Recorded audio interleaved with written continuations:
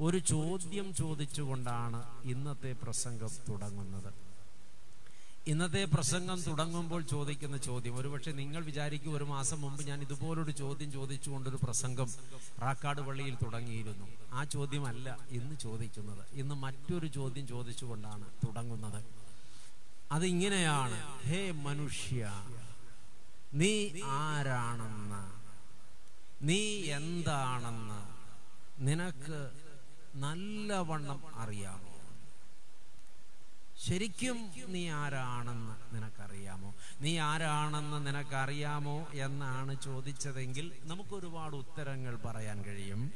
എന്നാൽ ഇവിടുത്തെ ചോദ്യം അതല്ല നീ ആരാണെന്ന് നീ എന്താണെന്ന് ശരിക്കും നിനക്കറിയാമോ? അതിന്റെ ഉത്തരം കണ്ടെത്തുക തെല്ല് സാഹസമാണ് പ്രിയപ്പെട്ടവരെ. ലോകപ്രകാരം നമ്മൾ ആരാണെന്നും നമ്മൾ എന്താണെന്നും നമുക്ക് നല്ലവണ്ണം അറിയാം. എന്നാൽ കർത്താവിന്റെ കണ്ണിലൂടെ നോക്കിക്കാണുമ്പോൾ ദൈവവചനത്തിന്റെ വെളിച്ചത്തിൽ നമ്മൾ ആരാണ് നമ്മൾ എന്താണ് അതാണ് നമ്മുടെ ചിന്തയായി തീരേണ്ടത്. നമുക്കറിയാവുന്ന ചില പരമാർത്ഥങ്ങളാണ് ഇനി പറയാനുള്ളത്. ആറ് നാളുകൾ കൊണ്ടാണ് ദൈവം സൃഷ്ടി നടത്തിയത്. ഉളവാകട്ടെ ഉളവാകട്ടെ ഉളവാകട്ടെ എന്ന വചനത്താൽ ഈ ഭൂമിയെയും ഭൂമണ്ഡലത്തെയും സൗരയൂഥങ്ങളെയും പക്ഷിമൃഗാദികളെയും വൃക്ഷലതാദികളെയും സമുദ്രങ്ങളെയും മത്സ്യജാലങ്ങളെയും ദൈവം ഉളവാക്കി.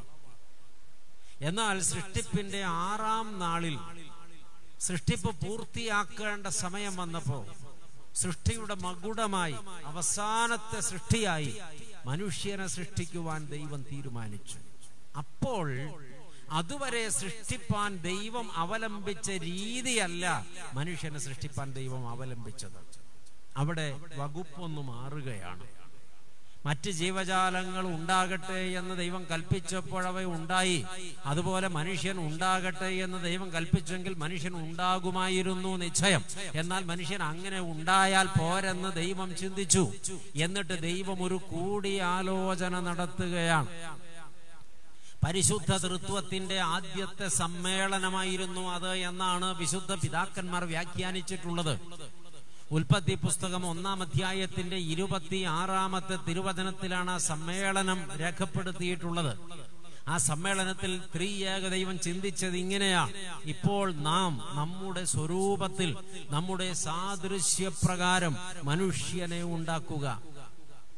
അങ്ങനെയാണ് ദൈവം മനുഷ്യനെ ഉണ്ടാക്കിയത്. ഹാലിലൂയ്യ ദൈവമക്കളെ ഇന്ന് ബഹുമാന്യനായ മണിയാട്ടച്ചന്റെ യാത്രയപ്പ് ശുശ്രൂഷയിൽ പങ്കെടുക്കുന്ന വേളയിൽ അവിടെ പാടുകയും വായിക്കുകയും ചെയ്ത ചില കാര്യങ്ങൾ ഞാൻ ആ നിമിഷങ്ങളിൽ തന്നെ വളരെ ശ്രദ്ധാപൂർവം എന്റെ ഉള്ളിൽ മനനം ചെയ്യുകയായിരുന്നു. ദൈവം അപ്രകാരം തീരുമാനിച്ചു. എന്നിട്ട് ഏതൻ തോട്ടത്തിൽ നിന്ന് അതെ കിഴക്ക് നിന്നും പടിഞ്ഞാറ് നിന്നും തെക്ക് നിന്നും വടക്ക് നിന്നും മണ്ണ് ശേഖരിച്ചു. ആ മണ്ണ് കൊണ്ടാണ് ദൈവം മനുഷ്യനെ മെനഞ്ഞെടുത്തത്. പ്രപഞ്ചത്തിന്റെ ആകത്തുകയായിട്ട് അവന് ദൈവം മെനഞ്ഞെടുത്തു എന്നാണ് പിതാക്കന്മാർ നമ്മളെ പഠിപ്പിച്ചത്. എന്നിട്ട് ദൈവം ആദമിനെ തേജസ്സോടെ അണിയിച്ചുരുക്കി നിർത്തിയിട്ട് അവനോട് പറഞ്ഞു തോട്ടത്തിലെ ജീവവൃക്ഷത്തിന്റെ ഫലം നീ കാത്തു സംരക്ഷിച്ചു കൊള്ളണം. നിന്നെ ഞാൻ ഭൂമിയിൽ രാജാവായി വഴിച്ചിരിക്കുന്നു. സ്വർഗത്തിൽ ഞാനും രാജാവായിരിക്കും. അമേൻ തന്നോടൊപ്പം താൻ സ്വർഗം വാഴുമ്പോൾ ഭൂമിയെ വാഴുവാനാണ് മനുഷ്യനെ ദൈവം അലങ്കരിച്ച് സൃഷ്ടിച്ച് അധികാരപ്പെടുത്തി വെച്ചത് എന്നാണ് ഇന്ന് പാടിയതും വായിച്ചതും എന്ന് ഞാൻ ആ നിമിഷങ്ങളിൽ മനനം ചെയ്തോർത്തു. എന്റെ പ്രിയപ്പെട്ടവരെ നമ്മൾ ഹൃദയത്തിൽ ധ്യാനിക്കേണ്ട ഒരു ചിന്തയാണിത്. ഇവിടെ പ്രത്യേകം ഓർക്കേണ്ട ഒരു കാര്യം. ദൈവം മനുഷ്യനെ സൃഷ്ടിച്ചപ്പോൾ അവനെ സൃഷ്ടിച്ചത് ദൈവത്തിന്റെ സ്വരൂപത്തിലും ദൈവത്തിന്റെ സാദൃശ്യത്തിലും അത്രേ അല്ലേലൂയ ലോകത്ത് മറ്റൊരു സൃഷ്ടിക്കും ദൈവം തന്റെ സാദൃശ്യം കൽപ്പിച്ചു നൽകിയിട്ടില്ല. മറ്റൊരു സൃഷ്ടിക്കും ദൈവ സ്വരൂപം കൽപ്പിച്ചു നൽകിയിട്ടില്ല. അത് നൽകപ്പെട്ട ഒരേ ഒരു സൃഷ്ടി മനുഷ്യനാണ്. അതുകൊണ്ട് മനുഷ്യന് ദൈവത്തോട് കൂട്ടായ്മയാചരിപ്പാൻ കഴിയുന്നു.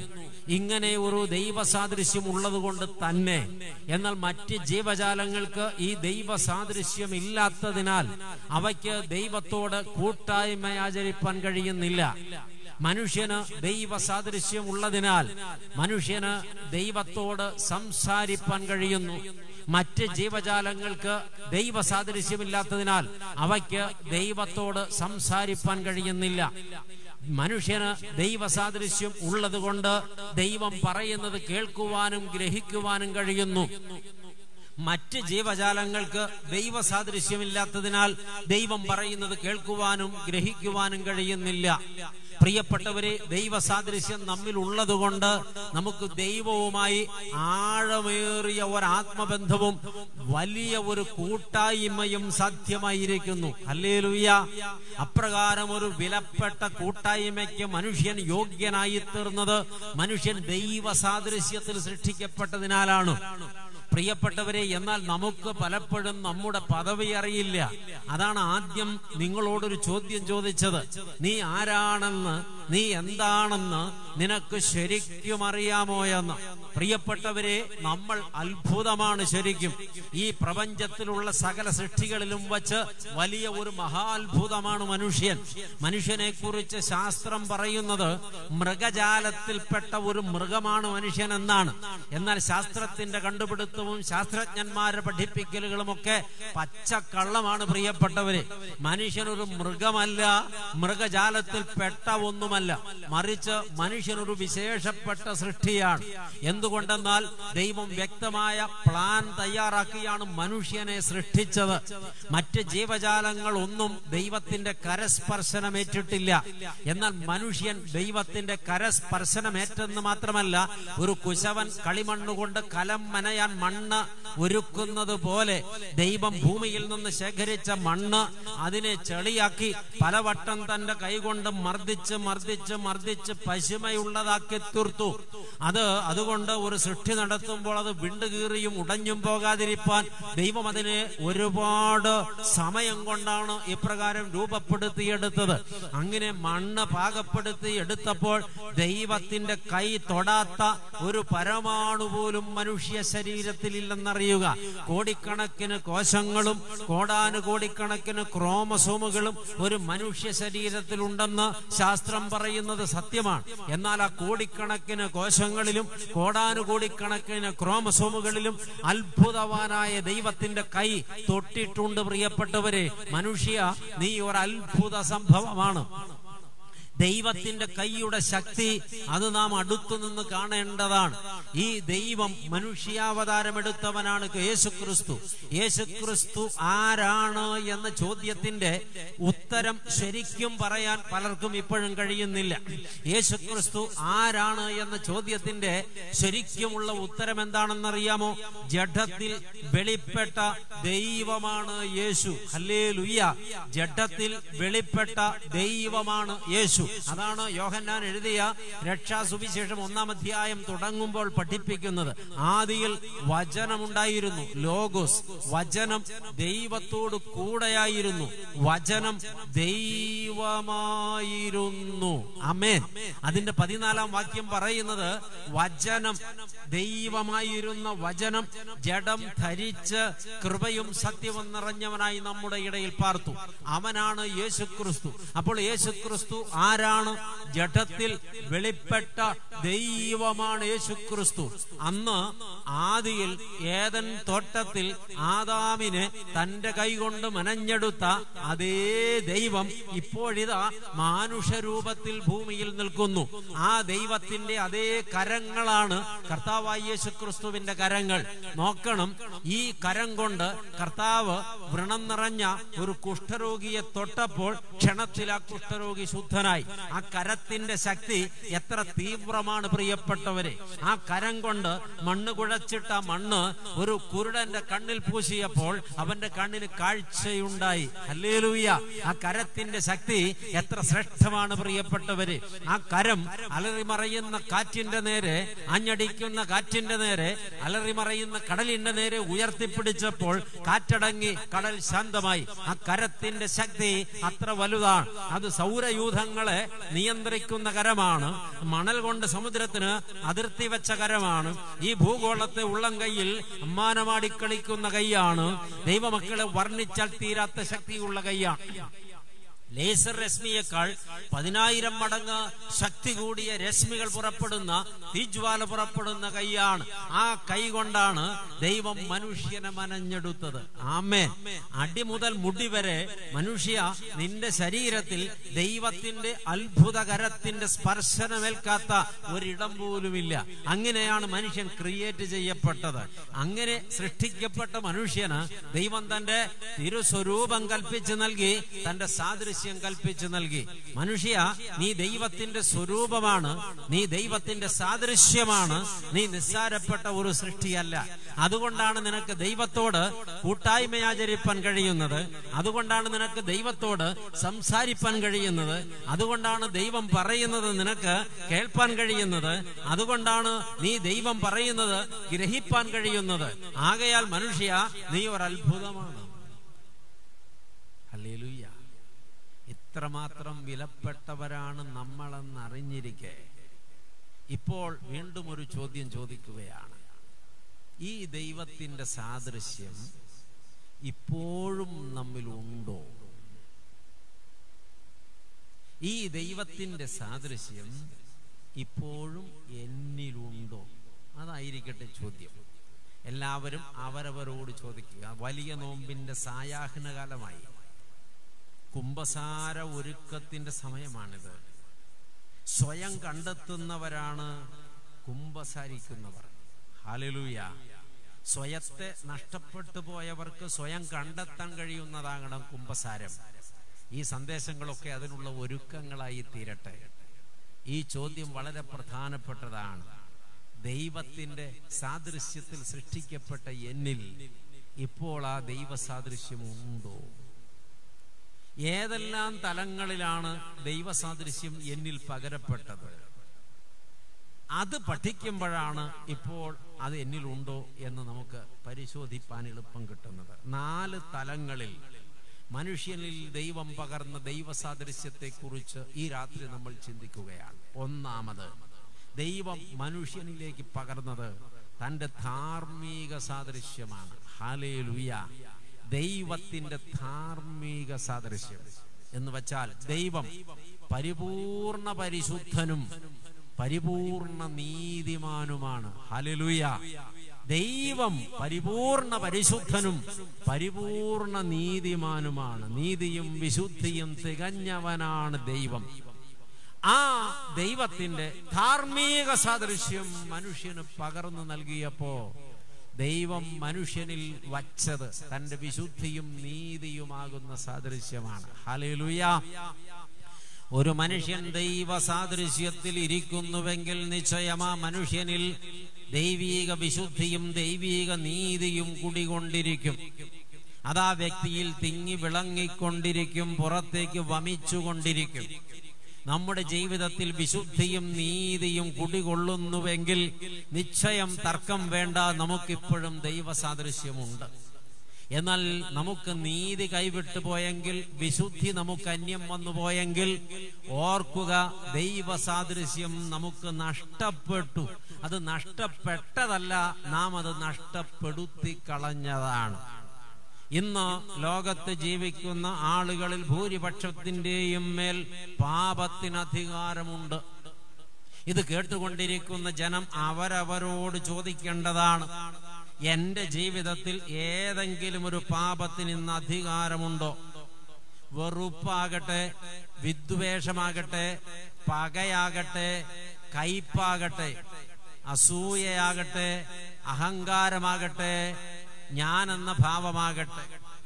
ഇനി മദ്യപാനമാകട്ടെ വെറിക്കൂത്തുകളാകട്ടെ വ്യഭിചാരമാകട്ടെ അശ്ലീല കാഴ്ചകളാകട്ടെ മയക്കുമരുന്നിന്റെ ഉപയോഗമാകട്ടെ വഴക്കുണ്ടാക്കുന്ന ശീലമാകട്ടെ ദ്രവ്യാഗ്രഹമാകട്ടെ ആഡംബര സുഖലോലുപതകളാകട്ടെ.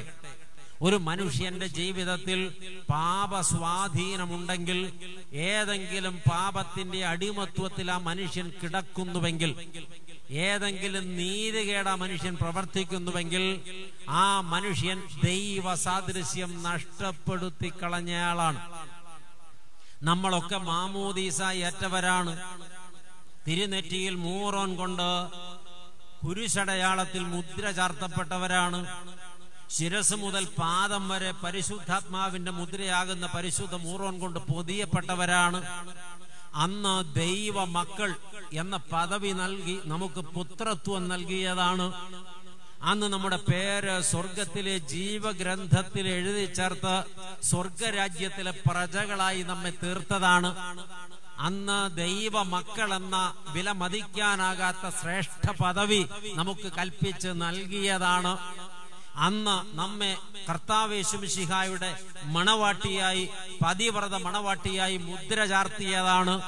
ഇത്രയും വിലപ്പെട്ട ഇത്രയും വിലപ്പെട്ട സ്ഥാനമാന മഹത്വങ്ങൾ നൽകി നമ്മ ദൈവം അലങ്കരിച്ചു വച്ചിരിക്കെ. ദൈവമക്കളെ ചോദ്യം ഇതാണ്. പാപത്തിന് ഈ അവസ്ഥയൊക്കെ പ്രാപിച്ച ഒരു വ്യക്തി തന്റെ ജീവിതം പണയപ്പെടുത്തിയപ്പോ അന്ധകാരത്തിലേക്ക് ഊളിയിട്ടിറങ്ങിയപ്പോ ജഡസുഖങ്ങൾക്ക് തന്റെ ജീവിതം അടിയറ വെച്ചപ്പോ ആ വ്യക്തി അറിയാതെ പോയതെന്ത്? എനിക്ക് നഷ്ടപ്പെടുന്നത് ദൈവ ദൈവത്തിന്റെ ധാർമ്മിക സാദൃശ്യമാണ്. ഞാൻ ദൈവത്തിൽ നിന്ന് അന്യപ്പെടുകയാണ്. ദൈവ കൂട്ടായ്മയിൽ നിന്ന് അന്യപ്പെടുകയാണ്. ദൈവത്തിന്റെ വിശുദ്ധിയിൽ നിന്ന് അകന്നു പോവുകയാണ്. ദൈവത്തിന്റെ നീതിയിൽ നിന്ന് അകന്നു പോവുകയാണ്. ദൈവിക ജീവനിൽ നിന്ന് അകന്നു പോവുകയാണ്. ദൈവിക പുത്രത്വത്തിൽ നിന്ന് അകന്നു പോവുകയാണ്. കർത്തൃ മണവാട്ടി എന്ന പദവി എനിക്ക് നഷ്ടപ്പെടുകയാണ്. ഞാൻ ഇത് നഷ്ടപ്പെടുത്തിക്കൊണ്ട് പാപത്തെ പ്രണയിച്ചാൽ എനിക്ക് വലിയ നഷ്ടമാണ് വരാൻ പോകുന്നതെന്ന് എന്തേ ദൈവമക്കളെ നാം അറിയാതെ പോകുന്നത് പാപം സുഖകരമാണ്. നൈമിഷികമായി ലഭിക്കുന്ന താൽക്കാലിക സുഖത്തിന്റെ പേരിൽ നിത്യമായി നൽകപ്പെട്ട സൗഭാഗ്യങ്ങളെ ചവറ്റുകൊട്ടയിൽ വലിച്ചെറിയുന്ന ഈ പതിവ് നമ്മൾ ഇനിയും അവസാനിപ്പിക്കേണ്ടതല്ലയോ? നോമ്പ് ആരംഭിച്ചിട്ട് അതിന്റെ സായാഹ്നത്തിൽ എത്തുകയാണ് ഇന്ന് നോമ്പ് തുടങ്ങിയിട്ട് നാൽപ്പതാമത്തെ ദിവസത്തിന്റെ സന്ധിയിലാണ് നാം എത്തി നിൽക്കുന്നത്. മുപ്പത്തി ഒൻപതാം നാളും പിന്നിട്ടുപോയി നാളെയാണ് നാൽപ്പതാം വെള്ളിയാഴ്ച. ദൈവമക്കളെ എന്നിട്ട് ഇപ്പോഴും നോമ്പ് തുടങ്ങി എന്നറിയാത്തവർ ഈ സഭയിലുണ്ടല്ലോ. ഇവിടെ ഗോപ്യമായി പല പാപങ്ങളും ചെയ്തുകൊണ്ട് നോമ്പെടുക്കുന്നു എന്ന് വരുത്തി തീർക്കാൻ ബാഹ്യമായി ചില ചടങ്ങുകളും ചിട്ടവട്ടങ്ങളും ഒക്കെ മാത്രം കാട്ടിക്കൂട്ടി പച്ചയ്ക്ക് നാടകം കളിക്കുന്ന പച്ച കള്ളന്മാരും കള്ളികളും ഉണ്ടല്ലോ. ദൈവമക്കളെ മുകളിലിരുന്ന് എല്ലാം നോക്കിക്കാണുന്ന തമ്പുരാന്റെ തീ പോലെ കത്തുന്ന കണ്ണ് ഈ രാത്രിയിലും എന്നെയും നിങ്ങളെയും അഗ്നിശോധന ചെയ്തുകൊണ്ടിരിക്കുകയാണ്. നമ്മൾ എന്തു നനയ്ക്കുന്നു? ലോകരെ ഒരു കാര്യം ബോധ്യപ്പെടുത്താൻ എളുപ്പമാണ്. അതിനുവേണ്ടി നമ്മൾക്ക് കുറച്ച് വേഷം കെട്ടിയാടിയാൽ അത് എളുപ്പം സാധിക്കും. എന്നാൽ ദൈവത്തെ ഒരു കാര്യം ബോധ്യപ്പെടുത്താനാണ് നാം വളരെ പ്രയാസപ്പെടേണ്ടത്. അവൻ എല്ലാം കാണുന്നു എല്ലാം അറിയുന്നു.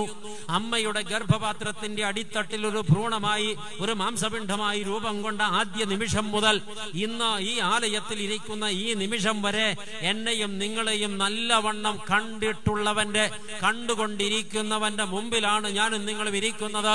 രാത്രിയിലും പകലിലും പോക്കിലും വരവിലും നിൽപ്പിലും ഇരിപ്പിലും എഴുന്നേൽപ്പിലും കിടപ്പിലും ദൈവമക്കളെ അവൻ നമ്മെ കണ്ടിട്ടുണ്ട്. അടച്ചിട്ട മുറിക്കുള്ളിലും ഒരുമിച്ച് യാത്ര ചെയ്തപ്പോഴും ഒറ്റയ്ക്ക് യാത്ര ചെയ്തപ്പോഴും ആരും കാണാത്തിടത്ത് ഏകനായിരുന്നപ്പോഴും അവൻ നമ്മെ വ്യക്തമായി കണ്ടുകൊണ്ടിരുന്നു. എന്തിന്? നമ്മുടെ മനനമണ്ഡലത്തിൽ നാം ചിന്തിച്ച ചിന്തകളെല്ലാം ചിന്തിക്കുന്ന നിമിഷത്തിൽ അവൻ അറിഞ്ഞുകൊണ്ടിരുന്നു. നാം വായിൽ നിന്നൊരു വാക്ക് പുറത്തേക്ക് പറയുന്നതിന് മുൻപ് ഞാൻ നിങ്ങളും പറയാൻ പോകുന്ന വാക്ക് എന്താണെന്ന് അവൻ മുൻകൂട്ടി അറിഞ്ഞുകൊണ്ടിരുന്നു. മനസ്സ് രൂപപ്പെടുത്തുന്നതാണ് നാവ് സംസാരിക്കുന്നതെങ്കിൽ മനസ്സിൽ അത് രൂപപ്പെടുമ്പോൾ തന്നെ തമ്പുരാൻ അറിഞ്ഞുകൊണ്ടിരുന്നു. തിരുമുമ്പിൽ ഒന്നും മറഞ്ഞിരിക്കുന്നില്ല. തിരുമുമ്പിൽ ആർക്കും മറഞ്ഞിരിപ്പാനാകില്ല. ദൈവമക്കളെ അവന്റെ കണ്ണുകൾ അതുപോലെ നമ്മെ നിരീക്ഷിച്ചു കൊണ്ടിരിക്കുകയാണ് ഈ ദൈവത്തിന്റെ മുമ്പിൽ നാം വിശുദ്ധിയുള്ളവരോ നാം നീതിയുള്ളവരോ ദൈവത്തിന്റെ ധാർമ്മിക സാദൃശ്യം നമ്മിൽ നിലനിൽക്കുന്നുവോ? നമുക്ക് ദൈവത്തെ ബോധ്യപ്പെടുത്താനാകുമോ? നൂറ്റി മുപ്പത്തി ഒൻപതാമത്തെ സങ്കീർത്തനത്തിൽ സങ്കീർത്തകൻ ഇത് മനോഹരമായി പാടിയിട്ടുണ്ട്. ആ സങ്കീർത്തനം തുടങ്ങുന്നത് ഇങ്ങനെയാണ്.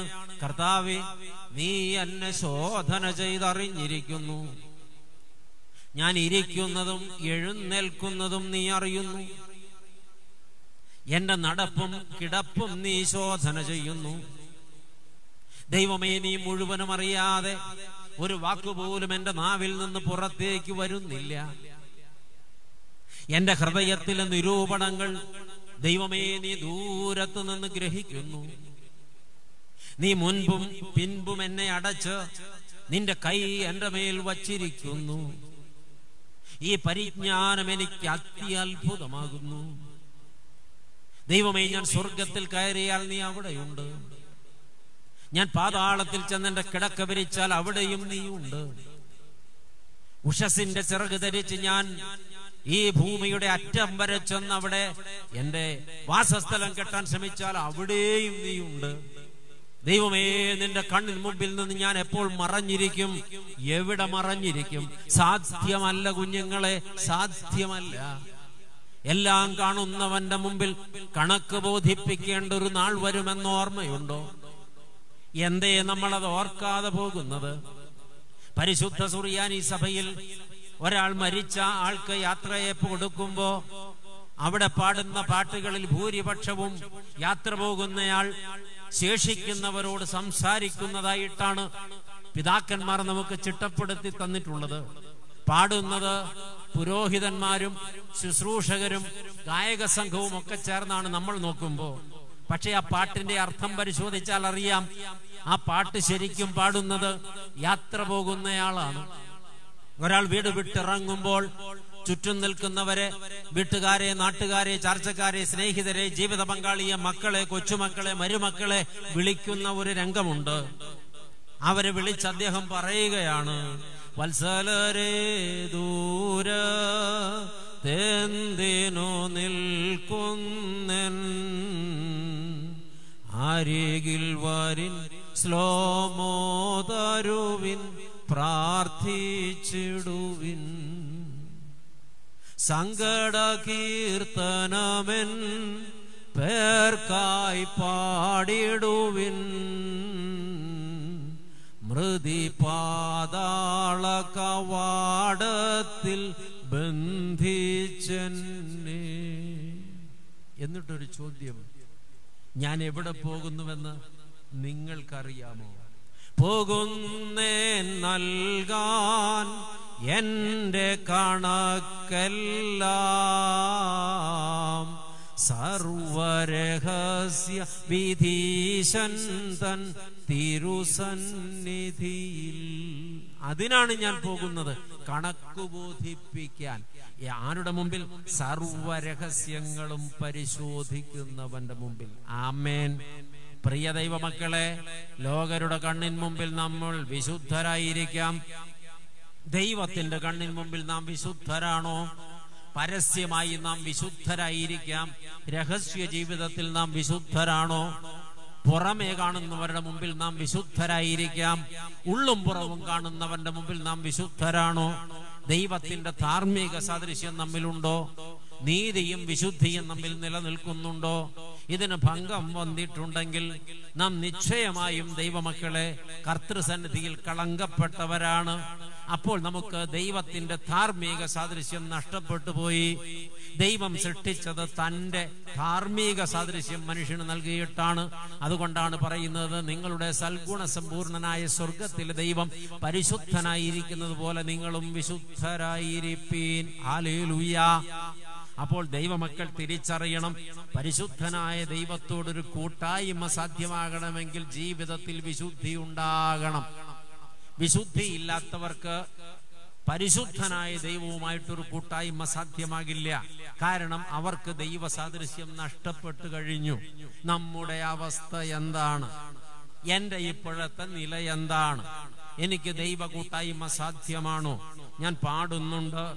പക്ഷേ എന്റെ പാട്ട് ദൈവം സ്വീകരിക്കുന്നുണ്ടോ? ഞാൻ പ്രാർത്ഥിക്കുന്നുണ്ട്. പക്ഷേ എന്റെ പ്രാർത്ഥന ദൈവം സ്വീകരിക്കുന്നുണ്ടോ? ഞാൻ ആരാധിക്കുന്നുണ്ട്. പക്ഷെ എന്റെ ആരാധന ദൈവം സ്വീകരിക്കുന്നുണ്ടോ? പാപിയുടെ പ്രാർത്ഥന ദൈവം കേൾക്കുന്നില്ലെന്നും പാപിയുടെ ജൽപ്പനങ്ങൾ ദൈവം അംഗീകരിക്കുന്നില്ലെന്നും വ്യക്തമായി ദൈവവചനം പഠിപ്പിച്ചിരിക്കെ നമ്മൾ ഈ കളിക്കുന്ന നാടകം ദൈവ മുമ്പിൽ ചെലവാകില്ലല്ലോ മക്കളെ.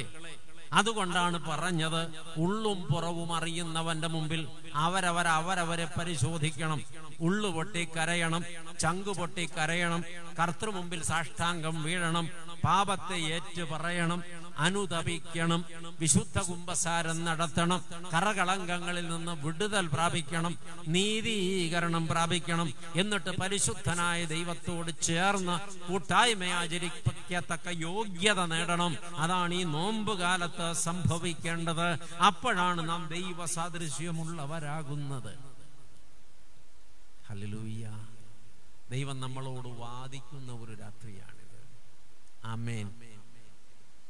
രണ്ടാമത് സോറി രണ്ടാമത്തെ ചിന്തയിലേക്ക് പോകുന്നതിന് മുൻപ് അപ്പോസ്തലനായ പൗലൂസ് പറഞ്ഞ ഒരു വാചകം ചേർത്ത് വെക്കട്ടെ ഒന്നാമത്തെ ചിന്തയോട്.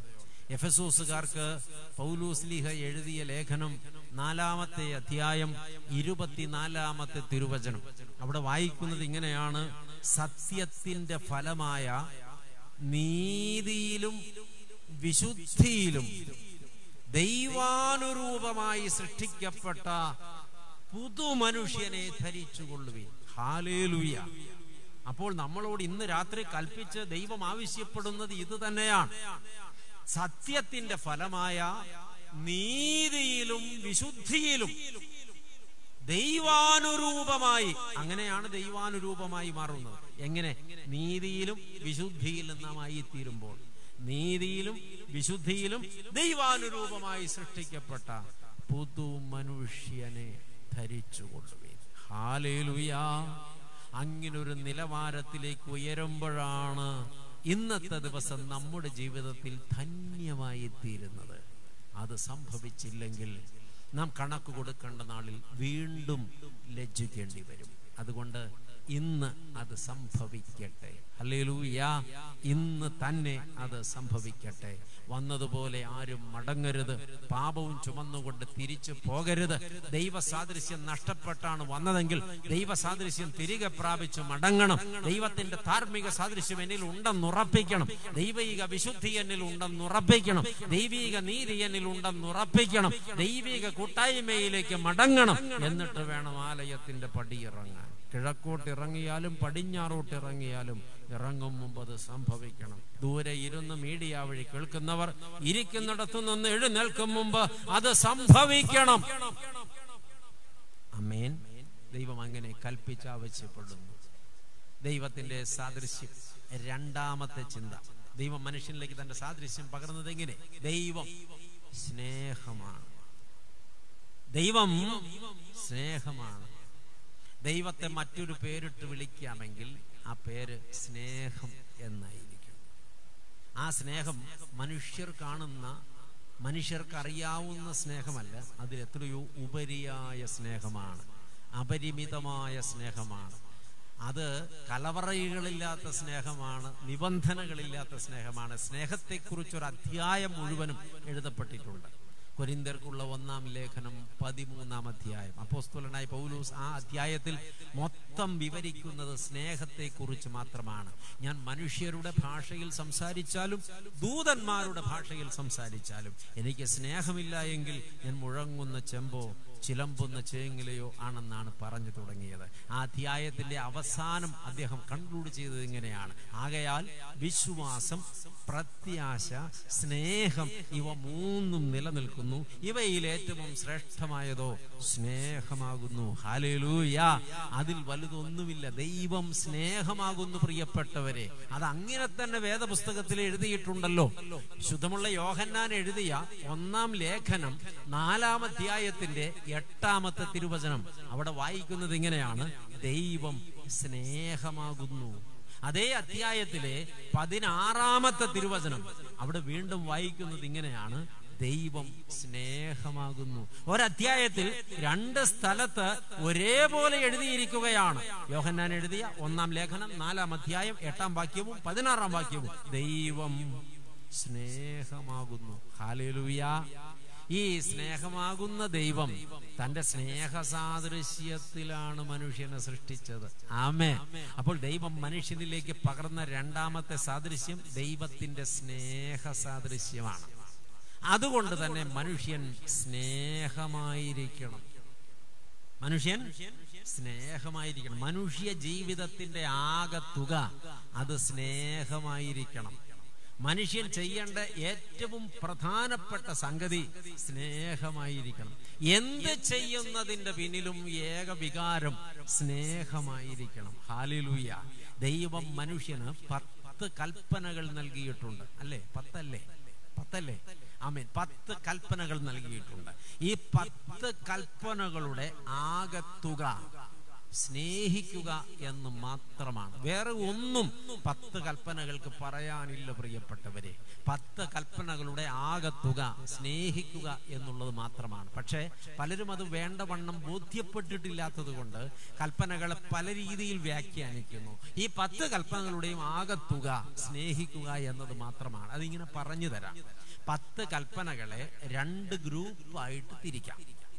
ആദ്യത്തെ നാല് കൽപ്പനകൾ ഒന്നാമത്തെ ഗ്രൂപ്പിലും ശേഷിക്കുന്ന ആറ് കൽപ്പനകൾ രണ്ടാമത്തെ ഗ്രൂപ്പിലും വരും. ആദ്യത്തെ ഗ്രൂപ്പിൽ വരുന്ന നാല് കൽപ്പനകളുടെ പ്രത്യേകത അത് മനുഷ്യനും ദൈവവും തമ്മിലുള്ള ബന്ധത്തെ കുറിച്ചുള്ളവയാണ് ഞാൻ നിന്റെ ദൈവമായ കർത്താവാണ് ഞാൻ അല്ലാതെ മറ്റൊരു ദൈവം നിനക്ക് ഉണ്ടാകരുത്. ഉണ്ടായാൽ നീ എന്നെ സ്നേഹിക്കുന്നില്ല എന്നാണ് അതിന്റെ അർത്ഥം. ഞാനാണ് നിന്റെ സ്രഷ്ടാവ്. ഞാനാണ് നിന്റെ ദൈവം.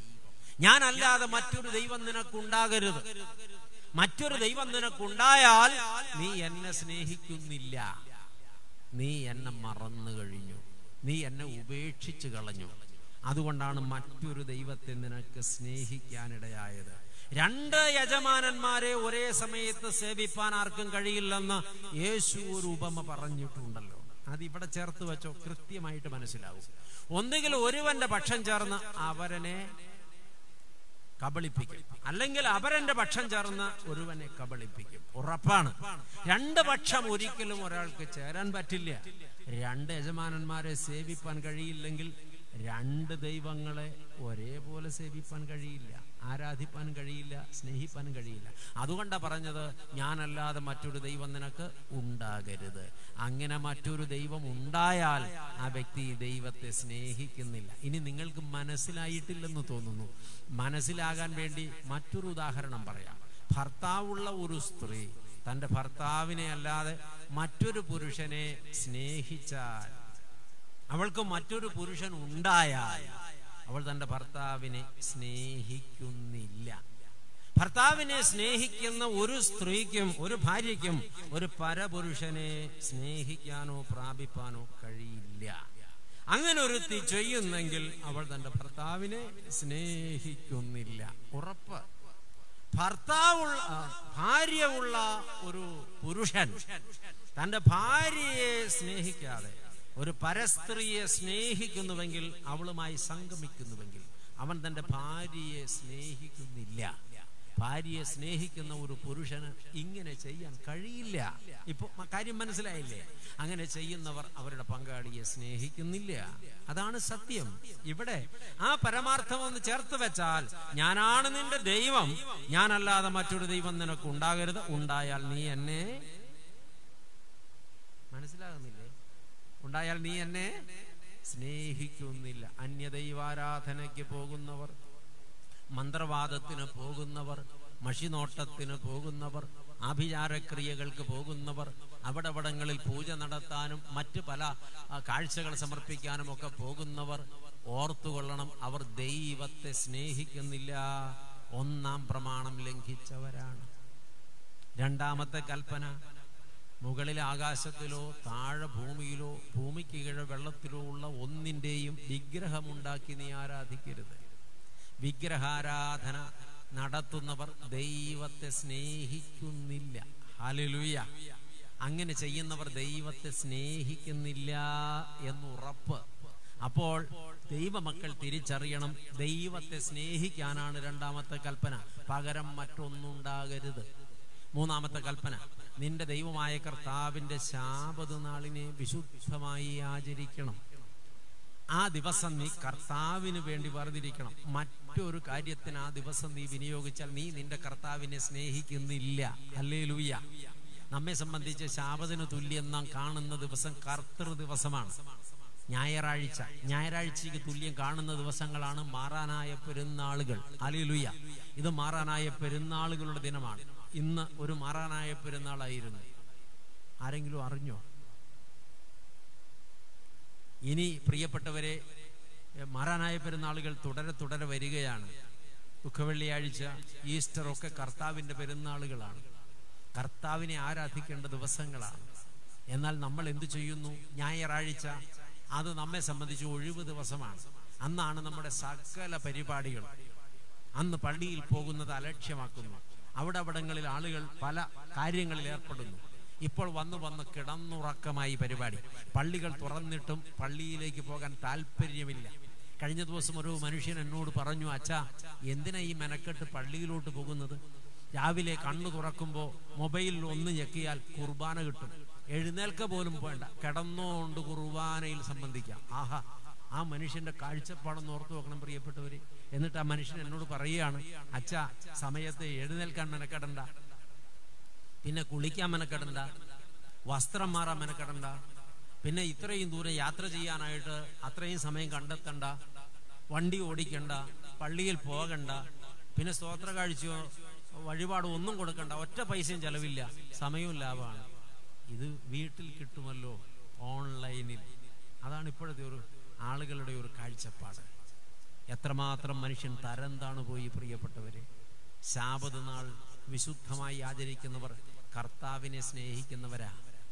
കർത്താവിനുള്ള ദിവസം കർത്താവിൽ നിന്ന് കട്ടെടുത്ത് സ്വന്തം കാര്യങ്ങൾക്ക് ഉപയോഗിക്കുന്നവർ കർത്താവിനെ സ്നേഹിക്കാത്തവരാണ്.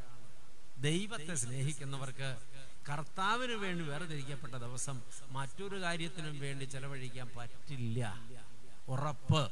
അങ്ങനെ ഒരു കാര്യത്തിന് വേണ്ടി ഞായറാഴ്ച ദിവസം മാറ്റിവെക്കുന്നവർ ദൈവത്തെ സ്നേഹിക്കുന്നില്ല. ആ കൽപ്പനയും ആവശ്യപ്പെട്ടത് ദൈവത്തെ സ്നേഹിക്കാനാണ്.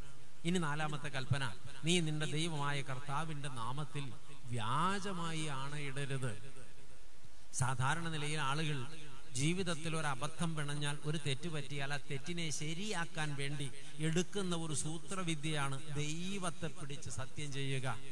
അങ്ങനെ ചെയ്യുമ്പോൾ നീ ദൈവത്തെ മോശക്കാരനാക്കുകയാണ്.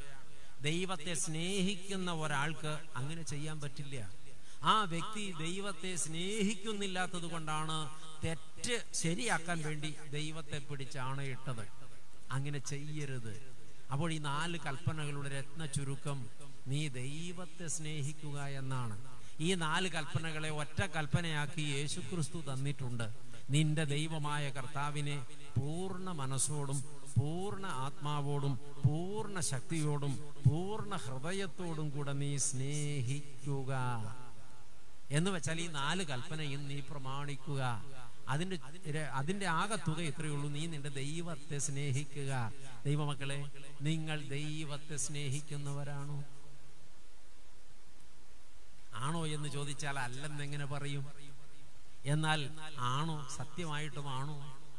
നിങ്ങൾ ദൈവത്തെ സ്നേഹിക്കുന്നുണ്ടോ? ഉണ്ട് ഉണ്ട് ഉണ്ട് എന്ന് നമ്മൾ പറയും. പക്ഷെ തെളിയിക്കണമെന്ന് ദൈവം പറഞ്ഞാൽ നമ്മൾ വിഷമിക്കും.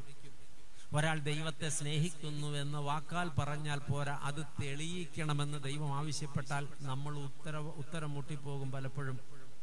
അങ്ങനെ ഒരു സംഭവം ഉണ്ടായി വേദപുസ്തകം പരിശോധിക്കുമ്പോഴറിയാം ദൈവത്തിന്റെ സ്നേഹിതന്മാരെന്ന് പേർപെട്ട ചില പുരുഷന്മാരെ കുറിച്ച് പഴയ നിയമം പറയുന്നുണ്ട്.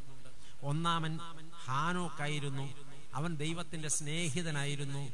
ദൈവത്തോട് കൂടെ നടന്നു. ഒരു ദിവസം ദൈവം അവനെ എടുത്തുകൊണ്ട് പോയി. പിന്നെ ആരും അവനെ കണ്ടിട്ടില്ല. പിന്നെ രണ്ടാമത് ദൈവത്തിന്റെ സ്നേഹിതൻ എന്ന് പറയുന്ന കഥാപാത്രം അബ്രഹാം പിതാവാണ്. അബ്രഹാം പിതാവിനെ കുറിച്ച് ദൈവം പറയുന്നത് എന്റെ പ്രാണ സ്നേഹിതൻ എന്നാണ്. ദൈവത്തോട് കൂടെയാണ് അബ്രഹാം നടന്നത്. അബ്രഹാമിന് ഒരു സങ്കടമുണ്ടായിരുന്നു മക്കളുണ്ടായിരുന്നില്ല.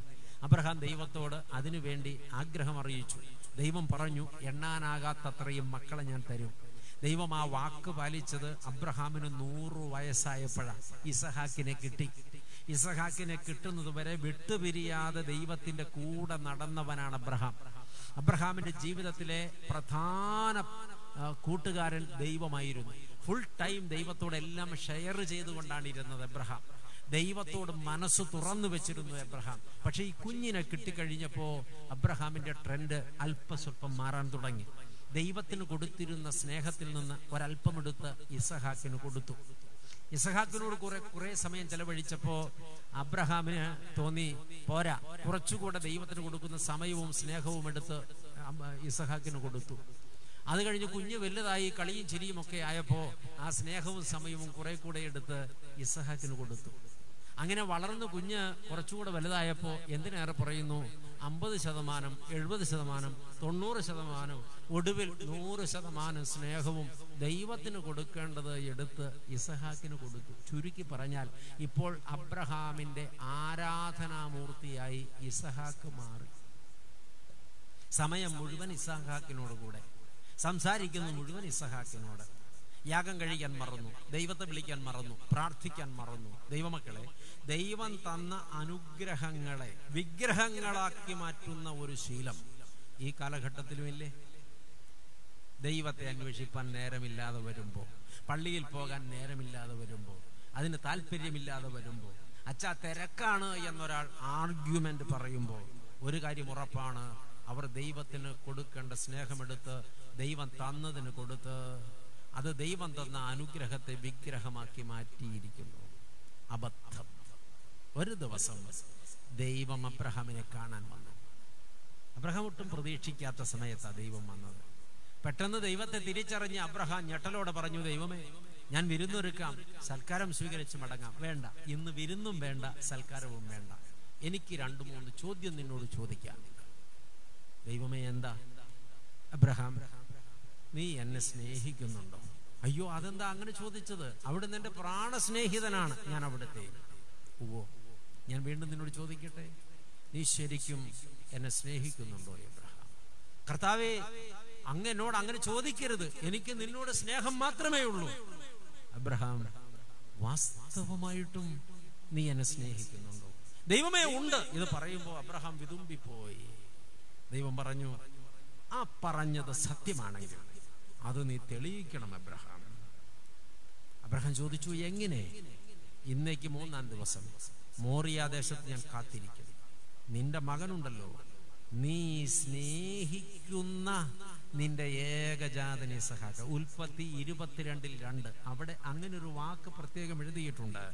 നീ സ്നേഹിക്കുന്ന നിന്റെ ഏകജാതനെ സഹാക്ക അവനെ നീ കൊണ്ടുവന്ന് എനിക്ക് ഹോമയാഗം കഴിക്കണം. അതാണ് ദൈവകൽപ്പന. അങ്ങനെ നീ എന്നെ സ്നേഹിക്കുന്നുവെന്ന് തെളിയിക്കണം. ഓ, നമ്മളോട് ആരോടെങ്കിലും ആ ദൈവം ഇങ്ങനെ സ്നേഹം തെളിയിക്കാൻ പറഞ്ഞെങ്കിൽ നമ്മുടെ നിലപാട് എന്തായിരിക്കും? മക്കളെ ഞാൻ കഴിക്കാനൊന്നും പറയണ്ട. ഉള്ള ബിസിനസ് പൂട്ടിക്കെട്ടണമെന്നോ ഈ ഏറ്റവും ചുരുങ്ങിയത് മദ്യപാനം നിർത്തണമെന്നോ പുകവലി നിർത്തണമെന്നോ നമ്മുടെ ചീത്ത ശീലങ്ങൾ നിർത്തണമെന്നോ ഒക്കെ പറഞ്ഞാൽ അത് നിർത്തിയിട്ട് ദൈവത്തോട് സ്നേഹം കാണിപ്പാൻ ഈ രാത്രി ദൈവം നമ്മെ വെല്ലുവിളിക്കുകയാണ്.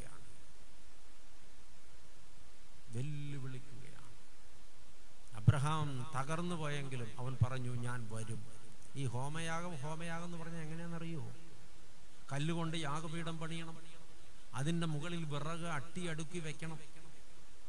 നിങ്ങൾ ഈ ഹൈന്ദവ സഹോദരങ്ങൾ ശവദാഹം നടത്തുന്നത് കണ്ടിട്ടില്ലേ? കണ്ടിട്ടില്ലേ? സിനിമയിലെങ്കിലും കണ്ടിട്ടില്ലേ? ദൈവമേ ഒരു വിശുദ്ധ സംഘത്തിന്റെ മധ്യയാണ് ഞാൻ നിൽക്കുന്നത്. നിങ്ങളിതൊന്നും കണ്ടിട്ടില്ലേ? ഉണ്ടില്ലേ അപ്പൊ ചുമ്മാ മിണ്ടാതിരുന്നതാ. എന്നിട്ട് മൃതദേഹം വെച്ച് കത്തിക്കുന്നത് കണ്ടിട്ടില്ല? ഇത് തന്നെ പരിപാടി. ഇതുപോലെയാണ് കല്ലുകൊണ്ട് യാഗപീഠം പണി അതിന് മുകളിൽ വിറകെടുക്കണം. എന്നിട്ട് ഈ കുഞ്ഞിനെ പിടിച്ച് അതിന്മേൽ കയറുകൊണ്ട് ബന്ധിക്കണം. എന്നിട്ട് ഈ കുഞ്ഞിന്റെ കഴുത്ത് കത്തികൊണ്ട് കണ്ടിക്കണം. അവസാനത്തുള്ളി ചോരയുമായി യാഗപീഠത്തിൽ ഒഴുകി പിടഞ്ഞ കുഞ്ഞ് നിശ്ചലമാകുമ്പോൾ തീ കൊണ്ട് കത്തിക്കണം ഈ വിറകടക്കം കുഞ്ഞിനെ. ഇതാ ഹോമയാഗം. ഇത് ചെയ്യാനാണ് അപ്പനോട് പറഞ്ഞിരിക്കുന്നത്. അബ്രഹാം എന്താ ചെയ്തത്? അതങ്ങനെ തന്നെ നടപ്പാക്കി. അമേൻ മകനെ യാഗപീഠത്തിൽ ബന്ധിച്ചു കിടത്തിയിട്ട് അബ്രഹാം ചങ്കു പൊട്ടി കരഞ്ഞു തമ്പുരാനെ എനിക്ക് സ്നേഹം നിന്നോടാണ് നിന്നോടാണ് നിന്നോടാണ് നിന്നോടാണ് നിന്നോട് മാത്രമാണ്. ഇതാ ഈ കുഞ്ഞിന്റെ കണ്ടനാളം ഞാൻ മുറിക്കാൻ പോകുന്നു. ഈ കുഞ്ഞിനെ ഹോമയാഗം കഴിപ്പാൻ പോകുന്നു. ഇപ്പോൾ തന്നെ ഞാനത് ചെയ്യാൻ പോകുന്നു. അവൻ ഉറയിൽ നിന്ന് വാളൂരി കുഞ്ഞിന്റെ കണ്ടനാളത്തിന് നേരെ കരമുയർത്തി ഓങ്ങി. അത് കത്തി താഴുമ്പോ ദൈവം അവന്റെ കയ്യിൽ പിടിച്ചിട്ട് പറഞ്ഞു അരുത് ഞാൻ ആ യാഗം സ്വീകരിച്ചു. നീ എന്നെ സ്നേഹിക്കുന്നുണ്ട് അബ്രഹാം. വില കൊടുത്തല്ലാതെ ദൈവത്തോടുള്ള സ്നേഹം തെളിയിക്കാൻ പറ്റില്ല. ഇന്ന് രാത്രി നീ നിന്റെ ദൈവത്തെ സ്നേഹിക്കുന്നുവെങ്കിൽ അത് തെളിയിക്കണം കുഞ്ഞ്. ദൈവത്തിന് ഇഷ്ടമല്ലാത്തതായി നിന്റെ ജീവിതത്തിലുള്ള ദൈവത്തിന് പകരമായി നിന്റെ ജീവിതത്തിലുള്ള ദൈവത്തെ തള്ളി നീ ജീവിതത്തിൽ ആസ്വദിക്കുന്ന എന്ത് സംഗതിയെയും ഈ രാത്രി ദൈവത്തോടുള്ള സ്നേഹത്തെ പ്രതി ത്യജിക്കണം. യാഗം കഴിക്കണം. അപ്പോഴാണ് ദൈവത്തോടുള്ള നമ്മുടെ സ്നേഹം വെളിപ്പെടുത്തപ്പെടുന്നത്. എല്ലാവരും വാടിപ്പോയല്ലോ? അസാധ്യമെന്നാണോ പറഞ്ഞത്? അന്നോ അങ്ങനെ പറയണ്ട. അത് സാധ്യമാണ്. ഈ രാത്രി ദൈവത്തിന് ഇഷ്ടമല്ലാത്തതെല്ലാം യാഗം കഴിക്കുക. എന്നിട്ട് ദൈവപക്ഷ. സക്കായി അതല്ലേ ചെയ്തത്? ഒരു തികഞ്ഞ മാനസാന്തരം ഒരു തികഞ്ഞ കുംഭസാരം. അതാണ് സക്കായി നടത്തിയത്. ഇതാണ് നമ്മളോടും ദൈവം ആവശ്യപ്പെടുന്നത്. ഇന്ന് രാത്രി നാം അങ്ങനെ മാറണം. ദൈവത്തെ സ്നേഹിക്കണം. പിന്നെ ആറ് കൽപ്പന ബാക്കിയുണ്ട്. അതിന്റെയും ആകത്തുക സ്നേഹിക്കുക എന്ന് മാത്രമാണ്. നീ കൊല ചെയ്യരുത്. കൊല ചെയ്യുന്നയാളെ കൊല കൊല കൊല്ലപ്പെടുന്നയാളെ കൊല ചെയ്യുന്നയാൾ സ്നേഹിക്കുന്നുണ്ടെങ്കിൽ കൊല്ലൂല. ഉറപ്പായിട്ടും കൊല്ലൂല. കൊന്നെങ്കിൽ ആളെ സ്നേഹിക്കുന്നില്ല. നിങ്ങൾ ആരെങ്കിലും കൊന്നിട്ടുണ്ടോ? എന്റെ അച്ഛയിലില്ല ഇതുവരെ അങ്ങനെ ഒരു അനുഭവം ഉണ്ടായിട്ടില്ല. എന്നാൽ നിങ്ങൾ പറഞ്ഞത് തെറ്റാണ്. നിങ്ങൾ ഒത്തിരി പേരെ കൊന്നിട്ടുള്ളവരാണ്. ഇപ്പോഴും കൊന്നുകൊണ്ടിരിക്കുന്നവരാണ്. നിങ്ങൾക്കിത് മനസ്സിലാകാത്തത് കൊണ്ടാണ് വചനം എന്താ പറയുന്നതെന്നറിയാമോ? സഹോദരനെ നിസ്സാര എന്ന് വിളിക്കുന്നവനും ഭോഷ എന്ന് വിളിക്കുന്നവനും ന്യായാധിപ സഭയുടെ മുമ്പിൽ നിൽക്കേണ്ടി വരും. അവൻ മരണതുല്യ പാപമല്ലോ ചെയ്തിരിക്കുന്നത്. യേശു തന്റെ ഗിരിപ്രഭാഷണത്തിൽ പറഞ്ഞതാണ്. അത് അങ്ങനെ തന്നെ ഒരു വചനത്തിൽ എഴുതിയിട്ടുണ്ട്. യോഹന്നാൻ എഴുതിയ ഒന്നാം ലേഖനം മൂന്നാം അധ്യായം പതിനഞ്ചാം തിരുവചനം. സഹോദരനെ പകയ്ക്കുന്നവനേവനും കൊലപാതകനാകുന്നു. പകയ്ക്കുന്നവൻ എന്നൊക്കെ പറയുമ്പോൾ അതെന്താണെന്ന് നമുക്ക് പിടികിട്ടത്തില്ല. അതുകൊണ്ട് പച്ച മലയാളത്തിൽ പറഞ്ഞു തരാം. സഹോദരനെ വെറുക്കുന്നവനേവനും കൊലപാതകനാകുന്നു. അപ്പോ സഹജീവിയെ വെറുക്കുന്നവരൊക്കെ കൊലപാതകികളാണ് നിങ്ങൾ കൊലപാതകം ചെയ്തിട്ടുണ്ടോ? മിണ്ടുന്നില്ല. മിണ്ടിയാലും ഇപ്പൊ മിണ്ടുണ്ടോ ഇല്ലയോ എന്ന് അറിയാൻ പറ്റില്ലല്ലോ. മുഖക്കൊട്ട കെട്ടിയിരിക്കുകയല്ലേ സഹലേ ദൈവമക്കളെ നിങ്ങൾ കൊലപാതകം ചെയ്തിട്ടുണ്ടോ?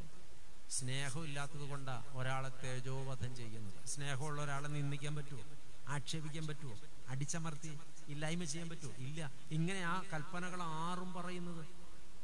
നീ വ്യഭിചാരം ചെയ്യരുത്. സ്നേഹിക്കുന്ന ഒരാളോട് വ്യഭിചാരം ചെയ്യാൻ പറ്റില്ല. ഒരാളോട് വ്യഭിചാരം ചെയ്തെങ്കിൽ ആ ആളെ സ്നേഹിക്കുന്നില്ല. നീ മോഷ്ടിക്കരുത്. ആരുടെയെങ്കിലും മോഷ്ടിച്ചെങ്കിൽ ആ ആളെ സ്നേഹിക്കുന്നില്ലാത്തതുകൊണ്ടാണ് മോഷ്ടിച്ചത്. സ്നേഹിക്കുന്ന ഒരാളുടേതും ഒന്നും മോഷ്ടിക്കാൻ നമുക്കാകില്ല. നീ കള്ളസാക്ഷി പറയരുത്. ഒരാൾക്കെതിരെ കള്ളസാക്ഷി പറഞ്ഞാൽ ആ ആളെ നാം സ്നേഹിക്കുന്നില്ല. സ്നേഹിക്കുന്ന ഒരാൾക്കെതിരെ നാം കള്ളസാക്ഷി പറയില്ല. നിന്റെ അപ്പനെയും അമ്മയും ബഹുമാനിക്കണം. അപ്പനെയും അമ്മയെയും സ്നേഹിക്കുന്നവർ അവരെ ബഹുമാനിക്കും. ഉറപ്പായിട്ടും ആദരിക്കും. അപ്പനെയും അമ്മയെയും സ്നേഹിക്കാത്ത മക്കളാണ് അവരെ നട നടതള്ളിക്കളയുന്നതും വീട്ടിൽ നിന്ന് ഇറക്കിവിടുന്നതും വീട്ടിലിട്ട് പൂട്ടുന്നതും പീഡിപ്പിക്കുന്നതും സംഘർഷത്തിലാക്കുന്നതും. ദൈവമക്കളെ കൂട്ടുകാരനുള്ള യാതൊന്നിനെയും മോഹിക്കരുത്. മോഹിക്കുന്നവർ കൂട്ടുകാരനെ സ്നേഹിക്കുന്നില്ല. കൂട്ടുകാരനെ സ്നേഹിക്കുന്നവർക്ക് അവർക്കുള്ള ഒന്നും മോഹിക്കാൻ പറ്റില്ല. ഈ ആറ് കൽപ്പനകളുടെ ആകത്തുക നിന്റെ കൂട്ടുകാരനെ നിന്നെ പോലെ സ്നേഹിക്കുക എന്ന ഒറ്റ കൽപ്പനയിൽ കർത്താവ് ചുരുട്ടിക്കൂട്ടി കയ്യിൽ തന്നു. അപ്പൊ പത്ത് കൽപ്പനകളുടെ ആകത്തുക ദൈവത്തെ സഹജീവിയെ സ്നേഹിക്കുക എന്ന് മാത്രമാണ്. ഇതാണ് ദൈവം നൽകിയ സാദൃശ്യം. സ്നേഹ സാദൃശ്യം. ഇപ്പോൾ ഈ സ്നേഹ സാദൃശ്യം നമ്മിലുണ്ടോ? എന്നിലുണ്ടോ? പരിശോധിക്കണം.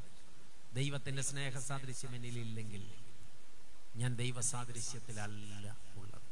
സ്നേഹത്തിന് പകരം വെറുപ്പും കയ്പുമാണ് ഉള്ളതെങ്കിൽ ദൈവത്തെ ആരാധിക്കാൻ അടുത്ത് വരുമ്പോഴും നാം ദൈവത്തോട് സ്നേഹമില്ലാതെയാണ് ആരാധനാ കർമ്മങ്ങൾ നടത്തുന്നതെങ്കിൽ ശരിക്കും ഒരാളെ സ്നേഹിക്കുന്നുവെങ്കിൽ ആ ആൾക്ക് ഇഷ്ടമില്ലാത്തതൊന്നും നമുക്ക് ചെയ്യാൻ പറ്റില്ല.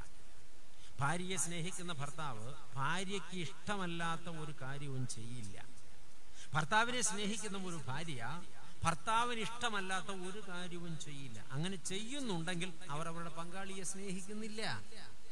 ദൈവത്തെ സ്നേഹിക്കുന്ന ഒരാൾ ദൈവത്തിന് ഇഷ്ടമല്ലാത്തതൊന്നും ചെയ്യില്ല.